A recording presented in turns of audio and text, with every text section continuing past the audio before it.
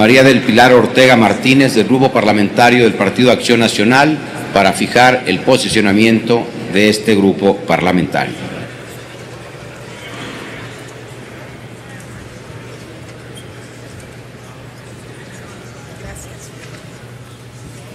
Gracias, presidente. Señoras y señores legisladores, a lo largo y ancho del país existen aproximadamente 65 mil kilómetros de ductos por donde circula petróleo y sus derivados en nuestro país. Lo extenso y complejo de esta red ha facilitado el robo de hidrocarburos a través de la instalación de tomas clandestinas en el sistema de ductos. Paralelamente a este delito se generan otros ilícitos, como son el asalto a pipas, secuestros de carros tanque, extracción ilegal de materiales y equipo. El propósito, apoderarse ilegalmente de los hidrocarburos. Este fenómeno delictivo se origina por la necesidad de autoconsumir combustibles. Posteriormente, fue comercializado a pequeña escala, resultando muy rentable, por lo que la delincuencia procedió a vender ilícitamente hidrocarburos a gran escala. Para 2014, el robo de combustibles por las tomas clandestinas ascendió a poco, de a poco más de 19 mil millones de pesos, que equivalen al 4.4% de las ventas totales de gasolina de tipo magna y premium. El problema continúa en ascenso y cada vez más resulta más complicado encontrar una solución. Pues los delincuentes utilizan ahora herramientas sofisticadas que son más difíciles de desprender. Los puntos de incidencia se concentran en tramos como Minatitlán, México, Salamanca, Guadalajara, Madero, Cadereyta, eh, Salamanca, Aguascalientes, Zacatecas, entre otros. Casos recientes como el de septiembre del año pasado, en el que la Procuraduría General de la República consignó al penal federal a cuatro presuntos integrantes del cártel del Golfo y al dueño de la empresa Petro Bajío, quienes fueron acusados de robar cuatro millones de litros de hidrocarburos mensualmente, los cuales vendían en cuatro estados del país. Además, se debe considerar el riesgo que significa para la población que vive en zonas en donde se instalen tomas clandestinas, así como donde se resguarda el producto motivo de sustracción o apoderamiento ilícito e incluso aquel peligro que se genera por su transportación sin las condiciones de seguridad adecuadas. Es por ello que el grupo parlamentario del Partido Acción Nacional está a favor del presente proyecto de dictamen.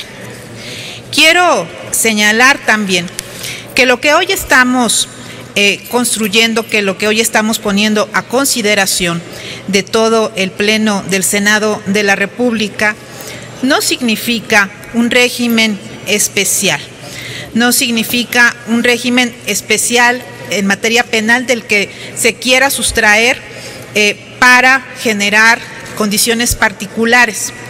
El hecho de establecerle en una ley especial no implica por ningún motivo que se distraiga de las reglas procesales genéricas del proceso penal.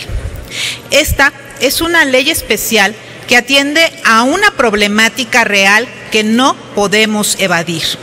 Y la experiencia parlamentaria nos indica que las leyes especiales tienen un efecto favorable para generar el contenido y alcance de aquellos bienes jurídicos tutelados que queremos proteger y sobre todo de los ilícitos que queremos sancionar, porque se les da visibilidad y se les da consistencia y organización.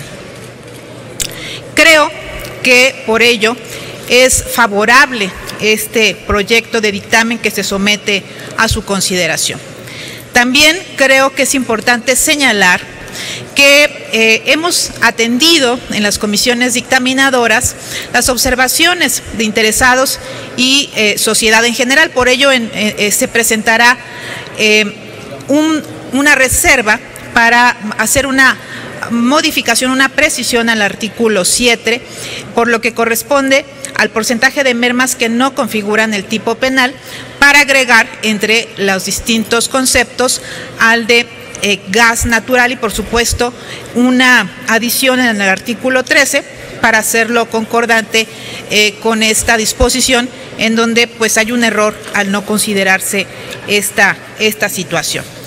Finalmente también quisiera, quisiera señalar que eh, el grupo parlamentario del Partido Acción Nacional votará a favor del presente dictamen, toda vez que con esta ley estamos seguros contaremos con mejores mecanismos que nos permitan ir poniendo altos a los ilícitos que se presentan en materia de hidrocarburos, brindando mayor certeza jurídica a los mexicanos y a todos los que eh, están eh, eh, en, en torno a la industria en materia de hidrocarburos, brindar mayor protección al patrimonio del Estado, a los ingresos que de ésta se derivan, castigando los delitos de manera proporcional al daño causado y evitando que los miembros de la delincuencia organizada que se han visto afectados por las deficiencias legales puedan evadir este castigo.